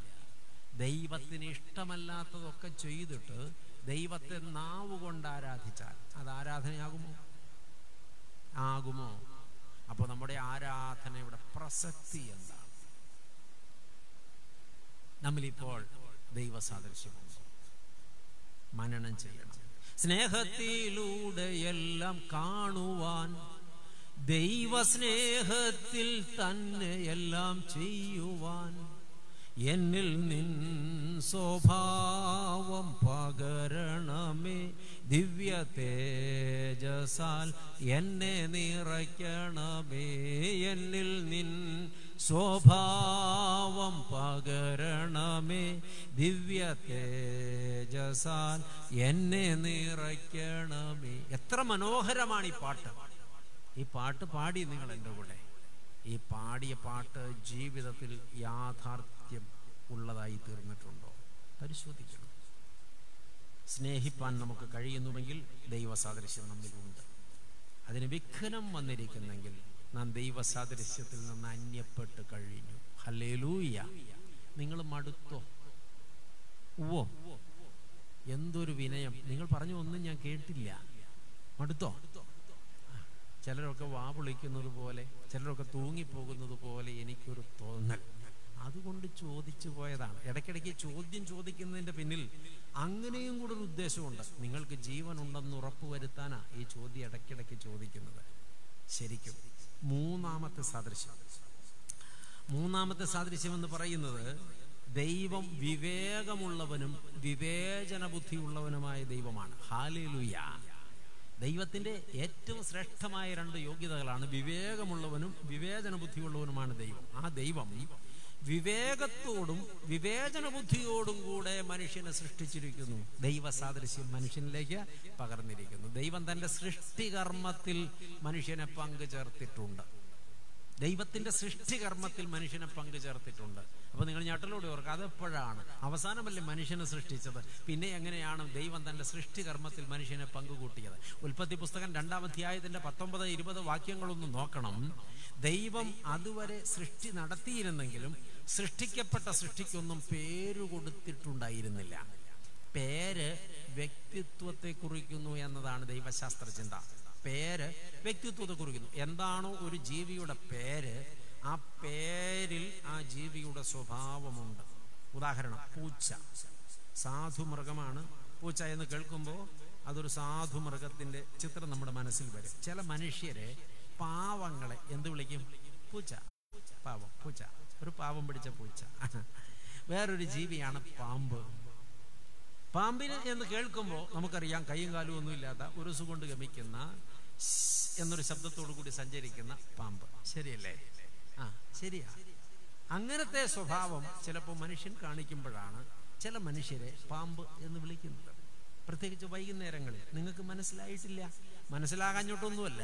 മനസ്സിലാകാത്ത ഭാവം അങ്ങ് നടിക്കുകയാണ്. പാമ്പായി ജീവിതം നയിച്ചിട്ടുള്ളവരൊക്കെ ഇത് കേട്ടുകൊണ്ടിരിക്കുന്നുണ്ട്. ഇപ്പോഴും പാമ്പായിട്ടുള്ളവരുണ്ടോ എന്ന് എനിക്കറിയില്ല. പ്രിയപ്പെട്ടവരെ ഈ പാമ്പിൽ തന്നെ വേറൊരു വർഗത്തിൽപ്പെട്ട ഒരു സാധനമുണ്ട് മൂർഖൻ.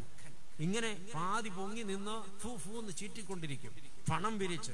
വൈകുന്നേരങ്ങളിൽ ചില പുരുഷന്മാർ ഇതുപോലെ കാൽ നിലത്തുറയ്ക്കാത്തത് കൊണ്ട് കൈ പൊത്തി കുത്തി പൊങ്ങി പാതി പൊങ്ങി നിന്ന് വായിൽ നിന്ന് വിഷം ചീറ്റുമ്പോഴാണ് അവന്റെ ഭാര്യ മാറി നിന്ന് അവനെ മൂർഖൻ എന്ന് വിളിക്കുന്നത്. കാര്യം മനസ്സിലായില്ലേ? അങ്ങനെ പോയാൽ സിംഹം കടുവ പുലി ഇതിനൊക്കെ പേരിനനുസരിച്ച് നമുക്ക് ആ ജീവിയുടെ സ്വഭാവം ഓർമ്മയിൽ വരും. ശരിയല്ലേ? ഈ പേരൊക്കെ അവസരം പോലെ നമ്മൾ മനുഷ്യന് ഉപയോഗിക്കാറുമുണ്ട്. മനുഷ്യനെ വിളിക്കാൻ? ശരി ഈ പേര് കൊടുത്തത് ആരാണ്? അതാ ഇവിടെ പറഞ്ഞത്. താൻ സൃഷ്ടിച്ച ജീവജാലങ്ങൾ ഓരോന്നോരോന്നായി ദൈവം മനുഷ്യന്റെ മുമ്പിലൂടെ കടത്തിവിട്ടു. അവൻ അവയ്ക്ക് എന്ത് പേര് വിളിക്കുമെന്ന് ദൈവം നോക്കി. മനുഷ്യൻ വിവേചിച്ചു നോക്കിയിട്ട് വിവേകത്തോടെ അവയ്ക്ക് ഓരോന്നിനും പേര് വിളിച്ചു. മനുഷ്യൻ വിളിച്ചത് അവയുടെ പേരായി തീർന്നു. മനുഷ്യൻ വിളിച്ചത് അവയുടെ വ്യക്തിത്വമായി തീർന്നു. അമേൻ ചുരുക്കത്തിൽ ദൈവം സൃഷ്ടിച്ച സകല ജീവജാലങ്ങൾക്കും വ്യക്തിത്വം കൊടുത്തത് മനുഷ്യനാണ്. എന്തുകൊണ്ട് ദൈവമായ ജോലി മനുഷ്യനെ ഏൽപ്പിച്ചെന്നറിയാമോ? ദൈവത്തിനൊപ്പം വിവേകവും വിവേചന ബുദ്ധിയും മനുഷ്യന് നൽകിയിരിക്ക കൊണ്ട് തന്നെ. ഹല്ലേലുയാ. ദൈവത്തിന്റെ വിവേകവും വിവേചന ബുദ്ധിയുമാകുന്ന സാദൃശ്യമാണ് ദൈവം മനുഷ്യന് നൽകിയത്. അതിപ്പോഴും നമ്മിലുണ്ടോ? വിവേകം. വിവേചന ബുദ്ധി ഉണ്ടച്ച വൈകുന്നേരം ഒരു അഞ്ചു മണിവരെയൊക്കെ നല്ല വിവേക. അത് കഴിഞ്ഞാൽ പിന്നെ നേരം വെളുക്കുന്നവരെ ഒരു വിവേകവും ഉണ്ടാവില്ല ഒരു പറ്റം ആളുകളുടെ ഗതി അതാ. ചിലർക്ക് നേരം വൈകുന്നേരം ഒന്നും ആവണ്ട നേരം വെളുക്കുമ്പോൾ മുതൽ വിവേകമില്ല. പാതിരാത്രി വരെ. ഉറങ്ങുമ്പോൾ നല്ല വിവേക. ഇങ്ങനെ വിവേകം ഉണ്ടായിട്ട് കാര്യമുണ്ടോ? വിവേചിച്ചു നോക്കണം. ഹലേലുയാ ദൈവത്തിന്റെ വിവേകവും വിവേചന ബുദ്ധിയും നൽകപ്പെട്ട മനുഷ്യ. ഇത് ഇന്ന് നമ്മൾ സൂക്ഷിക്കുന്നുവെങ്കിൽ നാം ഭാഗ്യവാന്മാർ. ഇല്ലെങ്കിൽ നാം ദൈവ സാദൃശ്യത്തിൽ നിന്ന് അന്യപ്പെട്ടു ഒരെണ്ണം കൂടെ പറയാനുണ്ട്. നാലാമത് ദൈവം നൽകിയത് വേറെ ഒരു സാദൃശ്യമാണ്. ദൈവത്തിന്റെ ആകാര രൂപ സാദൃശ്യം അങ്ങനെ തന്നെ മനുഷ്യന് നൽകി എന്നാണ് മനസ്സിലാക്കേണ്ടത്. ദൈവം അരൂപയാണെന്നാണ് വചനം നമ്മളെ പഠിപ്പിക്കുന്നത്. ദൈവത്തിനൊരു രൂപമില്ലെന്ന്. എന്നാൽ ദൈവത്തിനൊരു രൂപമുണ്ടെങ്കിൽ ആ രൂപം ഏതായിരിക്കും? ദൈവത്തിന്റെ ആകാര രൂപ പ്രകൃതിയിലാണ് മനുഷ്യൻ സൃഷ്ടിക്കപ്പെട്ടതെന്ന് നാം മനസ്സിലാക്കുമ്പോൾ ഈ രൂപത്തിലാണ് നാം ദൈവത്തെ ദർശിക്കാൻ കഴിയുക. അത് വേദപുസ്തകത്തിൽ ചില ഇടങ്ങളിൽ നമുക്ക് തെളിവടക്കം കാണാൻ പറ്റും. ഉൽപ്പത്തി പുസ്തകം പതിനെട്ടാം അധ്യായം തുടങ്ങുന്നത്. വെയിൽ ഉറച്ചപ്പോൾ അബ്രഹാം കൂടാരവാതിക്കൽ ഇരിക്കുകയായിരുന്നു തലകുനിച്ചായിരിക്കുന്നത് നട്ടുച്ച നേരത്തെ. ഒരു നിഴൽ നീങ്ങിപ്പോകുന്നതായി തോന്നിയപ്പോ അബ്രഹാം തല പൊക്കി നോക്കി. അപ്പോൾ മൂന്ന് പുരുഷന്മാർ തന്റെ കൂടാരവാക്കിലൂടെ പോകുന്നത് കണ്ടു. വേദപുസ്തകം പഠിക്കുമ്പോഴറിയാം മൂന്ന് പുരുഷന്മാർ. അതിനെക്കുറിച്ച് പിതാക്കന്മാർ പറയുന്നത് പിതൃപുത്ര പരിശുദ്ധാത്മാവായ ത്രീ ഏക ദൈവമാണ് കടന്നു പോകാൻ ശ്രമിച്ചത്. അബ്രഹാം അവരെ വിളിച്ച് സൽക്കരിച്ച് ശുശ്രൂഷിച്ച് പറഞ്ഞയച്ചതായി വായിക്കുന്നുണ്ട്. അന്ന് അബ്രഹാമിനെ സന്ദർശിച്ച് അനുഗ്രഹിച്ചത് ദൈവമാണ്. വന്നത് മാനുഷ രൂപത്തിലാണ് അല്ല ദൈവരൂപം മനുഷ്യന് നൽകിയതാണ് ആ രൂപത്തിലാണ് ദൈവം വന്നത്. അതേ രൂപത്തിലാണ് പിൽക്കാലത്ത് ദൈവം മനുഷ്യാവതാരമെടുത്തത്. യേശു ക്രിസ്തു. ഹാലലൂയ അതേ രൂപത്തോടു കൂടിയാണ് ക്രിസ്തു മറുരൂപമലയിൽ രൂപാന്തരപ്പെട്ടത്. അതേ രൂപത്തോടു കൂടിയാണ് കർത്താവ് പീഡാസഹനങ്ങളേറ്റത്. അതേ ആകാര രൂപത്തോടു കൂടിയാണ് അവൻ കുരിശിൽ മരിച്ചത്. അതേ ആകാര രൂപത്തോടു കൂടിയാണ് അവൻ കല്ലറയിൽ അടക്കപ്പെട്ടത്. അതേ ആകാര രൂപത്തോടു കൂടിയാണ് അവൻ തേജസ്കരിക്കപ്പെട്ടവനായി പുനരുത്ഥാനം ചെയ്തത്. അതേ ആകാര രൂപത്തോടു കൂടിയാണ് അവന്റെ ശിഷ്യന്മാർക്ക് അവൻ പലവട്ടം പ്രത്യക്ഷപ്പെട്ടത്.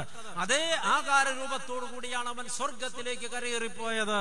അതേ ആകാര രൂപത്തിൽ തേജസ്സിന്റെ പൂർണതയിൽ അവൻ തിരികെ വരും. അവൻ വരുമ്പോൾ ഞാൻ അവനെ ഒരു നോക്ക് കണ്ടാൽ നൊടി നേരത്തിനുള്ളിൽ ഞാൻ രൂപാന്തരപ്പെട്ട് അവന് സദൃശ്യനായി തീരും. തേജസ്സിൽ അവനോടൊപ്പം എത്തും. അല്ലേ ലൂയ അങ്ങനെയാണ് വചനം നമ്മളെ പഠിപ്പിക്കുന്നത്. യോഹന്നാൻ എഴുതിയ ഒന്നാം ലേഖനം മൂന്നാം അധ്യായം രണ്ടാം വാക്യം. കർത്താവ് വരുമ്പോൾ ഞാൻ അവനെ ഒരു നോക്ക് കണ്ടാൽ നൊടി നേരത്തിൽ ഞാൻ രൂപാന്തരപ്പെട്ട കർത്താവിന് തുല്യനായി തീരും. അപ്പോൾ നമുക്ക് കർത്താവിന്റെ ആകാര രൂപമാണ് നൽകപ്പെട്ടത്. എത്ര പേർക്ക് അത് ഓർമ്മയുണ്ട്? എത്ര പേർക്ക് ആ വിവേകമുണ്ട്? എത്ര പേർക്ക് ആ ചിന്തയുണ്ട്? എന്റെ ഈ ശരീരം ദൈവത്തിന്റെ ആകാര സദൃശ്യമാണ്. ഹാലലൂയ ഇത് കളങ്കപ്പെടാൻ പാടില്ല. ഇത് പാപത്തിന് പണയപ്പെടുത്താൻ പാടില്ല. ഇത് ജഡസുഖങ്ങൾക്ക് പണയപ്പെടുത്താൻ പാടില്ല. ഇത് ദൈവത്തിന്റെ ആകാര രൂപമാണ് ഇത് വിലപ്പെട്ടതാണ്. ദൈവം ത്രീ ഏക ദൈവമാണ്. ത്രിയേക ദൈവത്തിന്റെ സ്വരൂപവും സാദൃശ്യവും നൽകപ്പെട്ട മനുഷ്യൻ തൃത്വ സ്വരൂപിയാണ് ദേഹം അഥവാ ശരീരം ദേഹി അഥവാ മനസ്സ് അല്ലെങ്കിൽ ഇച്ഛ ആത്മാവ് എന്നൊരു മൂന്നാമത്തെ ഘടകം കൂടെ മനുഷ്യനുണ്ട്. ഈ തൃത്വ സ്വരൂപിയായ ത്രിയേക ദൈവത്തിന്റെ സ്വരൂപത്തിലും സാദൃശ്യത്തിലും സൃഷ്ടിക്കപ്പെട്ട മനുഷ്യ നീയും തൃത്വ സ്വരൂപിയാണ് നിന്റെ ദേഹം വിലപ്പെട്ടതാണ് അതിന് വീണ്ടെടുപ്പുണ്ട്. നിന്റെ ദേഹി അഥവാ മനസ്സ് വിലപ്പെട്ടതാണ് അതിന് വീണ്ടെടുപ്പുണ്ട്. നിന്റെ ആത്മാവ് വളരെ വിലപ്പെട്ടതാണ് അതിനും വീണ്ടെടുപ്പുണ്ട്. തേജസ്സിൽ മഷിഹ വരുമ്പോൾ നാം അവനെ എതിരേൽക്കുന്നത് ദേഹവും ദേഹിയും ആത്മാവുമുള്ളവരായിട്ടായിരിക്കും. ദേഹത്തിന്റെ അവസ്ഥ ഇതായിരിക്കില്ല അത് തേജസ്കരിക്കപ്പെട്ട അവസ്ഥയിലായിരിക്കും. ദൈവമക്കളെ മരണം സംഭവിക്കുമ്പോൾ ശരീരത്തിൽ നിന്ന് ആത്മാവ് വേർപെടുന്നു. ആത്മാവിന്റെ കൂടെ മനസ്സ് ചേർന്നിരിക്കുന്നു ശരീരം ഇവിടെ ശേഷിക്കുന്നു. ഈ ശരീരം വളരെ വിലയുള്ളതാണ്. മസിഹായുടെ തിരുശരീര രക്തങ്ങൾ അനുഭവിച്ച ശരീരമാണ്. ഈ ശരീരത്തിൽ കർത്താവിന്റെ സാന്നിധ്യമുണ്ട്. ഹല്ലേലൂയ. ആത്മാവ് വേർപെട്ട് പോയാലും ഈ ശരീരത്തിൽ കർത്തൃ സാന്നിധ്യമുണ്ട്. അതുകൊണ്ട് ഈ ശരീരത്തെ അലക്ഷ്യമാക്കി കളയാൻ പാടില്ല. അതുകൊണ്ടാണ് പരിശുദ്ധ സുറിയാനുസഭയുടെ പിതാക്കന്മാർ ഇതിനെ സംസ്കരിച്ചു സൂക്ഷിക്കാൻ തീരുമാനിച്ചത്. സംസ്കരിച്ച് സൂക്ഷിക്കാൻ. എങ്ങനെയാണ് ആ ശുശ്രൂഷയുടെ പേര്? ശവ സംസ്കാര ശുശ്രൂഷ എന്നാണ്. അല്ലേ? അങ്ങനെയല്ലേ? പള്ളിയോളം പരിപാവനമാണ് സെമിത്തേരികളും. എന്താ കാരണം കാരണമെന്നറിയാമോ? അവിടെ സൂക്ഷിച്ചു വെച്ചിരിക്കുന്നത് വിശുദ്ധന്മാരുടെ ശരീരങ്ങളാണ്. അത് യേശു ക്രിസ്തുവിന്റെ സാന്നിധ്യമുള്ള ശരീരങ്ങളാണ്. ആമേൻ. നമ്മൾ പരിശുദ്ധ കുർബാന സ്വീകരിച്ച ആളുകളിൽ ക്രിസ്തു സാന്നിധ്യമുണ്ട്. അതുകൊണ്ടാണ് പരസ്പരം കാണുമ്പോൾ ദൈവത്തിന് സ്തുതി എന്ന് നമ്മൾ പറയുന്നത്. ആമേൻ. നിങ്ങൾ ഈ ആരാധനയിലൊക്കെ പങ്കെടുക്കുമ്പോൾ അച്ഛനാകട്ടെ മെത്രാച്ചനാകട്ടെ ധൂപകലശവുമായി പടിഞ്ഞാറോട്ട് തിരിഞ്ഞ് നിങ്ങളുടെ നേരെ ധൂപം വീശി വണങ്ങാറുണ്ടോ. ഉണ്ടോ? ശ്രദ്ധിച്ചിട്ടില്ല അല്ലേ? ഏ? നിങ്ങളുടെ നേരെയും വണങ്ങാറുണ്ട്. അല്ലേ ഈ മെത്രാച്ചനൊക്കെ നിങ്ങളോട് എന്തൊരു ആദരവാണ് നിങ്ങളെ കാണുമ്പോൾ വീശി വണങ്ങുന്നു. അപ്പൊ നിങ്ങൾ വലിയ ആൾക്കാരായതുകൊണ്ടാണ് അല്ലേ? അങ്ങനെയൊന്നും തോന്നരുത്. നിങ്ങൾ വലിയ ആൾക്കാരായതുകൊണ്ടല്ല. നിങ്ങളിൽ ക്രിസ്തു ഇരിക്കുന്നത് കൊണ്ടാണ് നിങ്ങളുടെ നേരെ ധൂപം വീശിയിട്ടുള്ളത്. ഹാലലുയ. ശരീരത്തിൽ നിന്ന് ആത്മാവ് വേർപെട്ടാൽ ഈ ശരീരത്തിൽ മഷികായുടെ സാന്നിധ്യമുള്ളത് കൊണ്ടാണ് ആ മൃതദേഹത്തിന് ചുറ്റും ധൂപം വീശുന്നത്. ആമേൻ. ആ സം ആ ശരീരം സംസ്കരിച്ച് സൂക്ഷിച്ച സ്ഥലത്ത് പോയി ധൂപമർപ്പിക്കുന്നത് അവിടെ ക്രിസ്തുവിന്റെ സാന്നിധ്യമുള്ളത് കൊണ്ടാണ്. ഇത് പുനരുത്ഥാനം ചെയ്യാനുള്ള ശരീരമാണ്. സഭ ചെയ്യുന്ന ഒരു കാര്യവും അബദ്ധം പറ്റി ചെയ്ത് ചെയ്യുന്നതല്ല. വ്യക്തമായ കാഴ്ചപ്പാടുണ്ട് അതിന്റെ പിന്നിൽ. ഈ ശരീരം അടക്കി കളയുകയല്ല സംസ്കരിച്ചു വെക്കുകയാണ്. നീ മണ്ണാകുന്നു. മണ്ണിലേക്ക് തന്നെ തിരികെ ചേരും. ഇത്രയേ എല്ലാവരും കേട്ടിട്ടുള്ളൂ. ആ പ്രാർത്ഥന അത്രയല്ല ഉള്ളൂ. ഇനി ഒരു വാചകം കൂടെയുണ്ട്. വീണ്ടും നവീകരിക്കപ്പെടുകയും ചെയ്യും. എന്ന് അരുളി ചെയ്ത തിരുവചനം നാഥ. ഇപ്പോൾ ഈ ദാസനിൽ ദാസിയിൽ നിറവേറിയിരിക്കുന്നു. ഇത് പറഞ്ഞാൽ മണ്ണ് നിക്ഷേപിക്കുന്നത്. എന്നിട്ടാ പെട്ടി അടയ്ക്കുന്നത്. ഇത് പുനരുത്ഥാനം ചെയ്യാനുള്ളതാണ്. അന്ന് ആത്മാവും മനസ്സും ആത്മാവും മനസ്സും തിരികെ ഈ ശരീരത്തിലേക്ക് വന്ന് ദൈവത്തെ എതിരേൽക്കും. അതുകൊണ്ട് ദൈവമക്കളെ ശരീരം വിലപ്പെട്ടതാണ് കളങ്കപ്പെടാൻ വിട്ടുകൊടുക്കരുത്. മനസ്സ് വിലപ്പെട്ടതാണ് കളങ്കപ്പെടാൻ വിട്ടുകൊടുക്കരുത്. ആത്മാവ് വിലപ്പെട്ടതാണ് കളങ്കപ്പെടാൻ വിട്ടുകൊടുക്കരുത്. നാം വിലപ്പെട്ടവരാണ് ലോകത്തിന് വേണ്ടിയല്ല ജീവിക്കേണ്ടത് ദൈവത്തിന് വേണ്ടിയാണ്. ഹേ മനുഷ്യ നീ ആരാണെന്ന് നീ എന്താണെന്ന് ശരിക്കും നിനക്കറിയാമോ? നീ ദൈവത്തിന്റെ സ്വരൂപമാണ് ദൈവത്തിന്റെ സാദൃശ്യമാണ്. നീ ദൈവത്തിന്റെ ധാർമ്മിക സാദൃശ്യമാണ്. നിനക്ക് നീതിയും വിശുദ്ധിയും ഉണ്ടാകണം. നീ ദൈവത്തിന്റെ സ്നേഹ സാദൃശ്യമാണ് നീ ദൈവത്തെ സ്നേഹിക്കണം. സഹജീവിയെ സ്നേഹിക്കണം. നീ ദൈവത്തിന്റെ വിവേകവും വിവേചന ബുദ്ധിയുമാകുന്ന സാദൃശ്യമാണ്. അതുകൊണ്ട് നീ വിവേകത്തോടും വിവേചന ബുദ്ധിയോടും കൂടെ ജീവിക്കണം. നീ ദൈവത്തിന്റെ ആകാര രൂപ സാദൃശ്യമാണ്. അതുകൊണ്ട് നിന്റെ ശരീരം വിലപ്പെട്ടതാണ് മനസ്സ് വിലപ്പെട്ടതാണ് ആത്മാവ് വിലപ്പെട്ടതാണ്. കളങ്കപ്പെടരുത് നഷ്ടപ്പെടരുത്. പ്രാർത്ഥിക്കാം. തലകളെ വണക്കാം കണ്ണുകളെ അടയ്ക്കാം. ഹാലേലുയാ. പരിശുദ്ധനായ ദൈവമേ സ്വർഗീയ പിതാവേ അനുഗ്രഹീതമായ നല്ല രാത്രിക്കായി നന്ദി പറയുന്നു സ്തുതിക്കുന്നു.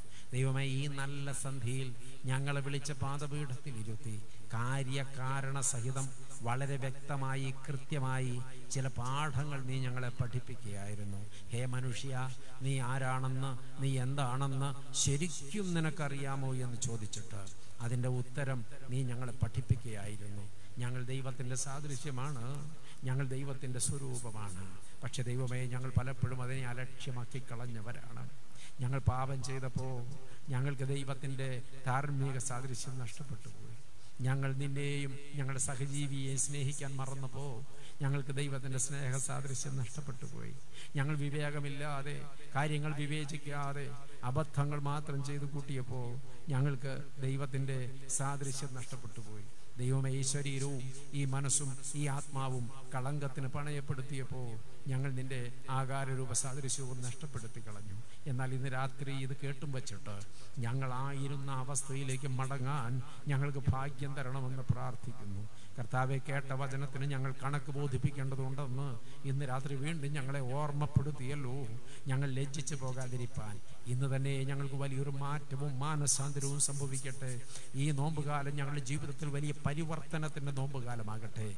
ഒരു യഥാർത്ഥ കുംഭസാരത്തിനും ഒരു യഥാസ്ഥാനപ്പെടലിനും ഞങ്ങൾക്ക് ഭാഗ്യമുണ്ടാകട്ടെ. ഇടവകയ്ക്ക് വേണ്ടി പ്രാർത്ഥിക്കുന്നു. വന്യ കോറപ്പിസ്കോപാസിന് വേണ്ടി പ്രാർത്ഥിക്കുന്നു. ബഹുമാനപ്പെട്ട ജോബിയസിന് വേണ്ടി പ്രാർത്ഥിക്കുന്നു. കർത്താവേ ഇടവകയിലെ എല്ലാ ശുശ്രൂഷകർക്കും വേണ്ടി പ്രാർത്ഥിക്കുന്നു. കർത്താവെ ഇതിന്റെ ഭരണകാര്യങ്ങളൊക്കെ നിർവഹിക്കുന്ന പ്രിയപ്പെട്ടവർക്ക് വേണ്ടി പ്രാർത്ഥിക്കുന്നു. ഇടവകയുടെ മുക്കിലും മൂലയിലും നിന്റെ കൃപ പെയ്തിറങ്ങണമേ. മീഡിയ വഴി കേൾക്കുന്ന സകല മക്കളെയും കരം നീട്ടി തൊട്ട് അനുഗ്രഹിക്കണമേ. ഈ രോഗം ലോകത്തെ ഗ്രസിച്ച് മൂന്നാമത്തെ അറ്റാക്ക് യൂറോപ്പിൽ നടത്തുന്നു. രണ്ടാമത്തെ അറ്റാക്ക് ഇന്ത്യയിൽ നടത്തുന്നു. ഇതിനെ ബന്ധിക്കണമേ ഞങ്ങളെ വിടുവിക്കണമേ ദേശത്തെ സൗഖ്യമാക്കണമേ ഞങ്ങളുടെ പാപത്തെ ക്ഷമിക്കണമേ. കർത്താവേ താഴ്ത്തി ഏൽപ്പിക്കുന്നു. നാളെ സമാപന ശുശ്രൂഷ അഭിഷേകത്തിന് ശുശ്രൂഷയായി തീർക്കണമേ. മഹത്വം കർത്താവ് എടുക്കണം. ഞങ്ങൾ നിനക്കും ഏകജാതനും പരിശുദ്ധാത്മാവിനും സ്തുതിയും സ്തോത്രവും സമർപ്പിക്കുന്നു. ഇപ്പോഴും എപ്പോഴും എന്നേക്കും തന്നെ. ആമേ ദൈവം എല്ലാവരെയും അനുഗ്രഹിക്കും